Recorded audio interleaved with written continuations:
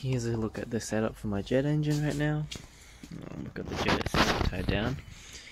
And a few sensors here running off an Arduino Uno. It's currently measuring temperature and pressure. And there's a tachometer here, but I broke it last minute. One of the legs of the laser sensor has snapped off. Okay, yeah. So that's out of order for now. Over here we have the fuel supply. Uh, natural gas, or well, the camping gas canisters is being used to preheat, and then later on, um, a liquid fuel will be used. For example, um, methanol, which will be delivered through a pressurized sort of like siphon system. You can see the regulator, and the air supply will be hooked up through here, through the regulator. Um, and a needle valve is used to control the fuel flow. Let's see in here.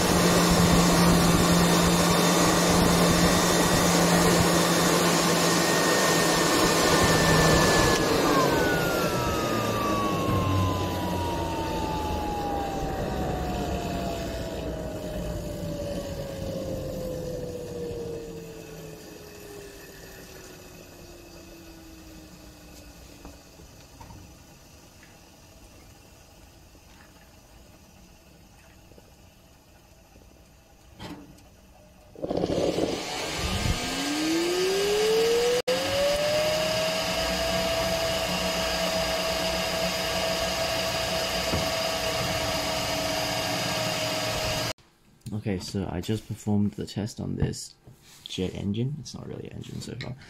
And now we're going to disassemble it and see what's going on. Here we have two outlets on the, the top cowl for the compressor. This copper tube is for fuel and this here is an outlet to measure air pressure. It's held on to the diffuser underneath by these two screws, which we'll undo now. Oh, my hands looking at the camera. Anyways.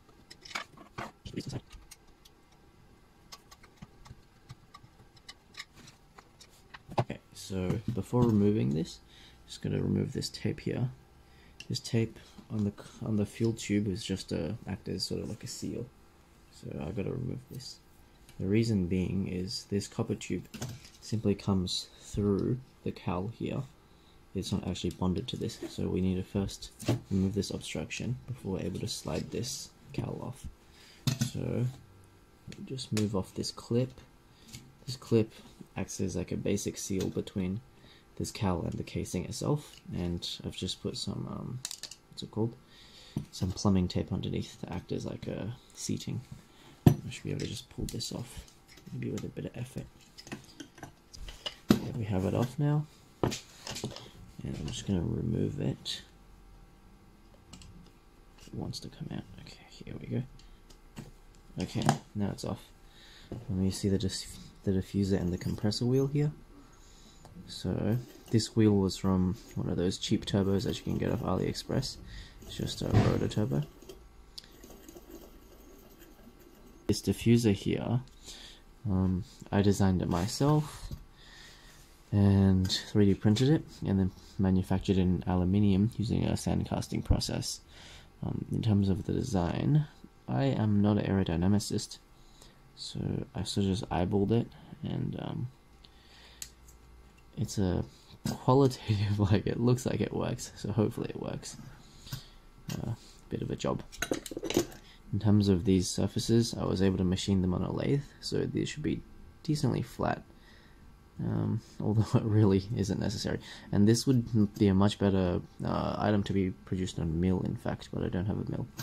So that's that. Anyways um, next we're going to remove the bottom three screws which hold the rest of the assembly to the casing. This entire casing thing just it slides off of the rest of the assembly, including the bearing housing. Um, ah, I won't bother explaining it, you'll see in a sec.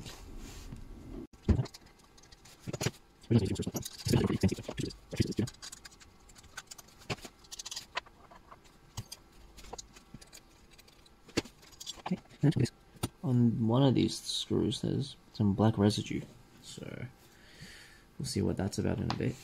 This entire casing just slides off. Okay.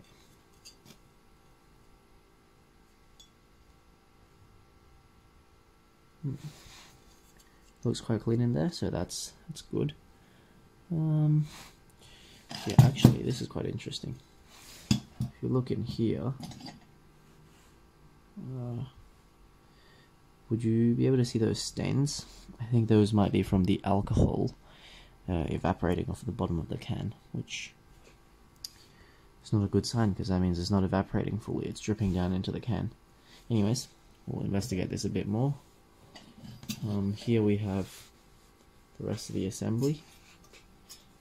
Um, essentially, it consists of the combustion chamber here, which leads into the stator before being redirected into the turbine, which is mechanically linked to the compressor.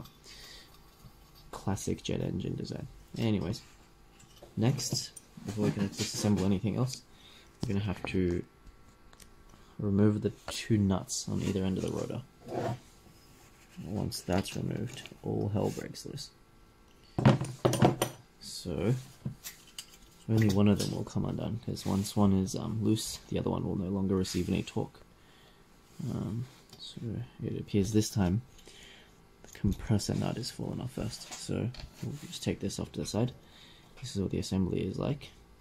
So underneath this nut, there is a stack of various components which ultimately seats onto the, the rigid steel shaft. So the shaft was machined from a solid bar. It's just regular machinable steel. I'm not actually too sure about the grade. And in here, you'll be able to see the bearing, which is a ceramic hybrid bearing. Quite nice. Anyways, um, before we disassemble this any further, if you'll just have a look at this fuel delivery system here, it's essentially a relatively small di diameter copper tube which comes through the turbine cowl, sorry, the, the compressor cowl, um, which we've already removed. And it comes down through just in the space between the casing and the turbine, uh, the combustion chamber, before it makes a loop around here. And there's several uh, needle heads, surgical needle heads, that have been silver soldered onto the copper tube. And these just rest here, and they're, they're held on by the friction between this copper tube and the the cowling once it's installed. Although it's currently not, and so it's just loose, just jiggling around here. Anyways, let's continue disassembling this.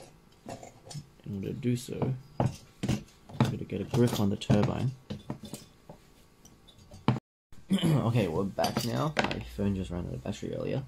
So, um, we've just removed the turbine and the turbine is seated on the shaft in here which if my camera will focus you'll be able to see. It is held in the correct position with this spacer which holds it a small distance away from this stator in here. So shutter is free to rotate and I forgot to mention this earlier, but in case you're not familiar with the operation principle of this jet engine, or any jet engine in general, is first, a compressor is used to increase the pressure of air and also force a large volume of air into the casing of the jet engine. And so in this case, the turbine, oh sorry, no, the, the compressor that used to live on top of this shaft is performing that function. And as it rotates, it pushes air into this diffuser, which converts a part of the kinetic energy of the air that is being blown through into pressure, so potential energy. And once it enters, um, once it exits the diffuser through these channels here, it instead enters into the casing. Um, and there's a region, so the casing is 5 millimeters above this uh, combustion chamber. It sits tangent to this face here and once it enters into this region, it begins it begins to diffuse into the combustion chamber. This combustion chamber is, um, if you took a cross section of it, so if you cut it like that, it'll look like a donut. What happens here is fuel is injected from here into the front end of this combustion chamber, and there it gets um, gets lit on fire, obviously, and um, Initially, the oxygen flow is constricted because as you see there's only a small amount of relatively small holes here and this is where the flame front is, just beyond these small um, primary holes is I think what they're called in the industry or whatever.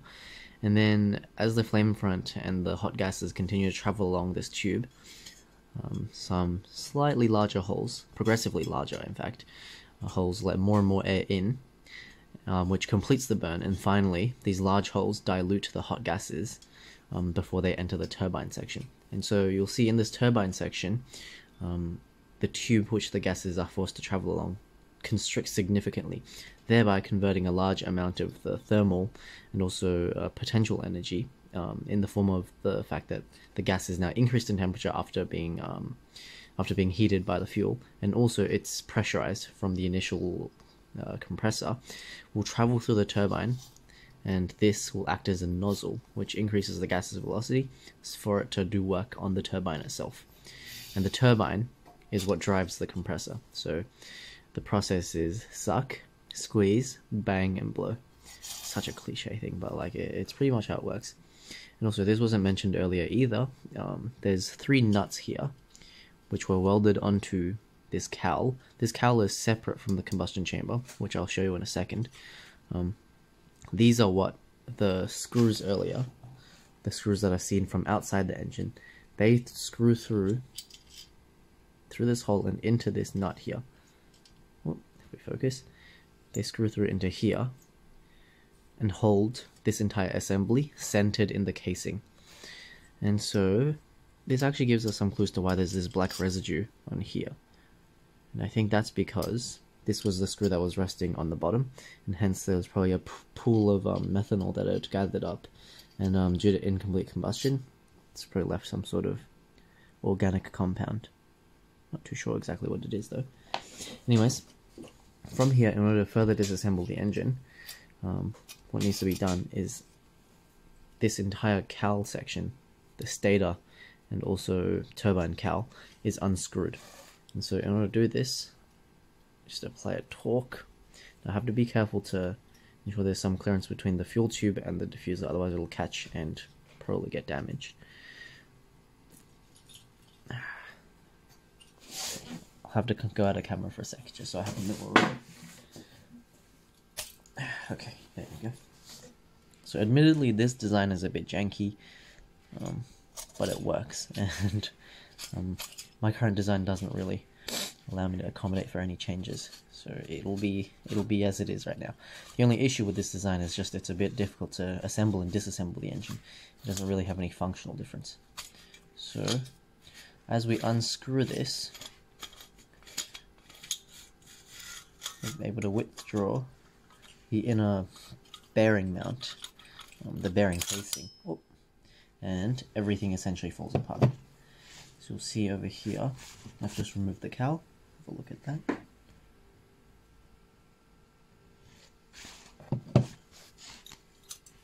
This cowl mates with the combustion chamber.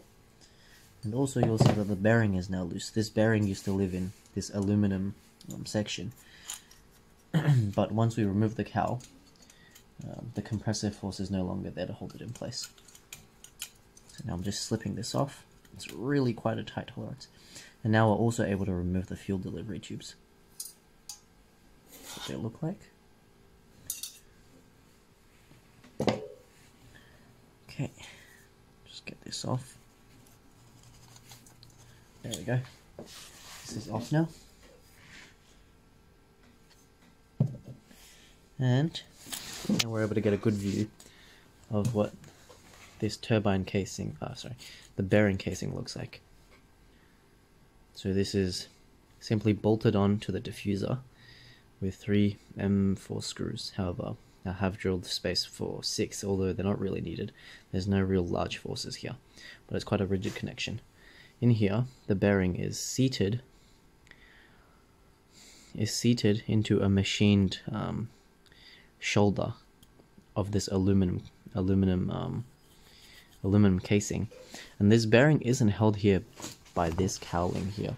So you see, this here is essentially a ferrule welded onto another um, like threaded end stop, and with also several of the stator blades mount uh, welded on. So this doesn't actually hold this bearing in place. This is just here to protect it from the exhaust gases. What holds... Oh, oh shit. Phone just fell over. One second, please. What actually holds this in place is... Focus, please. Once the turbine is mounted on, with the spacer, the appropriate spacer, turbine, and... Oh, just skip the washer. And once this screw is installed, not the screw, the nut is installed, this compresses and impinges onto this bearing, which holds it in place. Okay, well, it holds its position relative to the turbine fixed, and what that allows us to do is